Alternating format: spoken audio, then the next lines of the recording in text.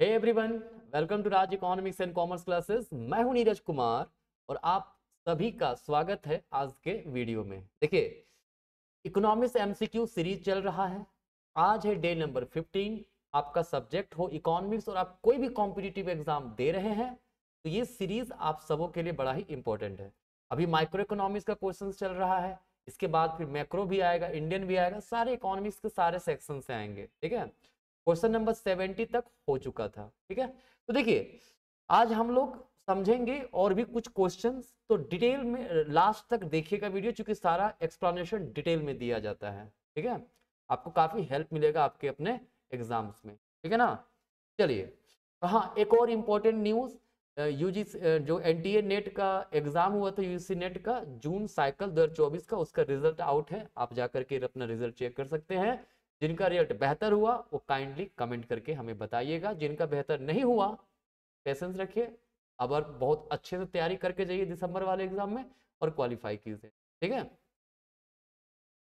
तो question number 71 हमारे पास है। ये कहता है cross elasticity of demand of metro rides is 0.8 देखो, जो cross elasticity of metro rides है है ना, वो 0.8 दिया हुआ है। क्लियर कहते हैं total ridership per day 1.5 lakh है ना? मतलब डेढ़ लाख रोज राइड करते हैं लोग, ठीक है? हाँ। अब है if the price of bus ride rises by 15 percent ठीक है? अगर कहता है प्राइस ऑफ़ बस राइड्स जो है, वो पाँच परसेंट बढ़ जाता है, ठीक है? Change in total metro ride will be तो लोग मेट्रो राइड्स में क्या, चुके थे वो दोनों सब्टिट्यूट है या तो बस से राइड करेंगे या तो फिर वो राइडिंग कहाँ से करेंगे? मेट्रो से, ठीक है? तो क्रॉस इलास्टिसिटी हमारा इसमें यूज़ होगा, ठीक है? फॉर्मूला होता है क्रॉस इलास्टिसिटी इक्वल्स यहाँ पे क्या होगा? Percentage change in metro ride, ठीक है? क्या होगा? Percentage change in metro rides divided by क्या होगा? Percentage change in price of bus ride. ठीक है? तो वो क्या दिया हुआ है? ज़ीरो पॉइंट एट है हमारे पास ये, और वो हम उसको percentage change in change in metro ride ही रहने देते हैं। डिवाइडेड बाय परसेंटेज प्राइस कितना है? पाँच परसेंट है, ठीक है? क्या क्रॉस मल्टीप्लाई होगा? कितना हो जाएगा हमारा? Percentage change in metro ride कितना हो जाएगा? फोर परसेंट होगा, ठीक है? कितना होगा? Four percent change in metro rides मतलब जब पाँच परसेंट प्राइस बढ़ जाएगा बस राइड का तो मेट्रो राइड में पाँच परसेंट का वृद्धि, चार परसेंट का वृद्धि हो जाएगा। टोटल राइड कितना हो रहा है? डेढ़ लाख हो रहा है तो डेढ़ लाख का चार परसेंट कितना होगा? डेढ़ लाख का चार परसेंट हो जाएगा हमारा छह हज़ार। ठीक है? ये आप निकाल लीजिएगा four percent of four percent of मतलब four by hundred into one five one two three four ये दो ज़ीरो, ये दो ज़ीरो कैंसिल पंद्रह सौ इंटू चार तो छह हज़ार आपका आंसर आ जाएगा, ठीक है? Option number C this is the correct answer Hindi में भी क्वेश्चन दिया हुआ है, आप उसको देख सकते हैं, ठीक है? चलिए। क्वेश्चन नंबर सेवेंटी टू है, कहता है for the given income consumption curve in the diagram which one of the following correct beyond the point A देखो पॉइंट ए के बाद क्या हो रहा है? पॉइंट ए के बाद क्या हो रहा है ना? एक्स का कंजम्पशन बढ़ रहा है इनकम बढ़ने के साथ, लेकिन वाई का कंजम्पशन इनकम बढ़ने के साथ घट रहा है। ठीक है? इसका मतलब क्या है? एक्स हमारा नॉर्मल गुड्स होगा, तभी इनकम बढ़ने के साथ उसका कंजम्पशन बढ़ रहा है, और वाई जो हमारा है वो इंफीरियर गुड्स होगा, ठीक है? तभी इनकम बढ़ने के साथ उसका कंजम्पशन घट रहा है। ठीक है? कहीं है? Good Y inferior good X is normal option number B this is the correct answer ठीक है? चलिए।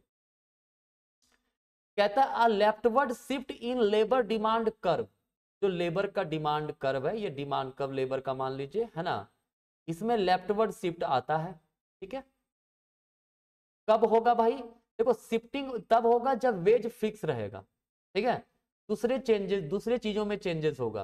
तो इंक्रीज इन वेज रेट ये तो गलत है वेज में चेंजेस नहीं होगा। शिफ्टिंग तब होता है जब वेज के अलावा दूसरे फैक्टर जो है वो अफेक्ट करते हो डिमांड फॉर लेबर का। तो देखो, अगर वेज वही रहे, लेकिन प्रोडक्टिविटी ऑफ़ लेबर घट जाए तो लेबर का डिमांड प्रोड्यूसर कम करेगा ना? तो क्या होगा? Decrease in the margin productivity of labour श्रम की सीमांत उत्पादकता में अगर कमी होगा तो इसमें क्या होगा? लेफ्टवर्ड शिफ्ट कर जाएगा, ठीक है? बाई और बदलाव हो जाएगा किसमें? लेबर के डिमांड कर्व में। ठीक है? कोई दिक्कत नहीं है? इजी क्वेश्चन है। हाँ नेक्स्ट है। जो general economic equilibrium is not related to which one of the following जो जनरल इक्विलिब्रियम होता है, उसमें क्या चीज़ नहीं होता है? यूनिकनेस बिल्कुल एक unique solution unique equilibrium point होता है, वो एग्जिस्टेंस होता है, उसमें स्टेबिलिटी होता है जनरल इक्विलिब्रियम में एक स्टेबिलिटी होता है। कोई भी डेविएशन होगा तो ऑटोमेटिकली स्टेबल हो जाएगा। मोरल हजार्ड प्रॉब्लम नहीं। मोरल हजार्ड जो है ना, इसको जनरल इक्विलिब्रियम इंक्लूड नहीं करते हैं तो ऑप्शन नंबर डी हमारा करेक्ट आंसर होगा। ठीक है? कहता है in the short run production function which one of the following is correct कहता है शॉर्ट रन में कौन सा निम्नलिखित में करेक्ट है? Technologies assume to change as labour input changes नहीं, देखो शॉर्ट रन में कहता है ना, देखो शॉर्ट रन में क्या है ना, जितने भी फैक्टर प्रोडक्शन होंगे, कुछ वेरिएबल्स होंगे, कुछ फिक्स होंगे, ठीक है? जैसे लेबर कैपिटल दो लिए लेबर वेरिएबल होगा कैपिटल फिक्स होगा, ठीक है? लेकिन एक चीज़ याद रखिएगा टेक्नोलॉजी को कांस्टेंट अज्यूम किया गया है, ठीक है? तो कहीं ऑप्शन है ऑप्शन नंबर डी में है technology assume to constant for a given production function relationship ठीक है? तो ये चीज़ आपको याद रखना है जो शॉर्ट रन होगा ना वहाँ पे टेक्नोलॉजी uh, जो होता है it is assume to be constant ठीक है?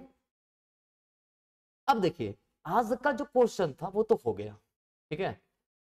बड़ा ही इंपॉर्टेंट क्वेश्चन मैं लेकर के आ रहा आप लोगों के लिए लेकिन आप लोग थोड़ा इंकरेज कीजिए है ना? आप लोग शेयर कीजिए वीडियो लाइक कीजिए कमेंट कीजिए ताकि थोड़ा रीच इसका बढ़े, ठीक है ना? कोई दिक्कत नहीं है तो चलिए आज का आपका यही तक रहेगा। लेकिन क्लास खत्म करने पहले मैं बता दूँ, आप अगर इकोनॉमिक्स के स्टूडेंट हैं एम इकोनॉमिक्स हो बी इकोनॉमिक्स हो C U T PG economics हो यूजीसी नेट सेट हो, है ना? या फिर टी जी टी हो इकोनॉमिक्स कॉमर्स में तो हमारा ऑनलाइन क्लासेस ज्वाइन करने के लिए ये ऐप डाउनलोड कर सकते हैं प्ले स्टोर से। और इन्फॉर्मेशन के लिए नंबर पे व्हाट्सअप या कॉल कर सकते हैं। अभी फ़िलहाल कोर्सेज पे अप टू 50 परसेंट का डिस्काउंट मिल रहा है।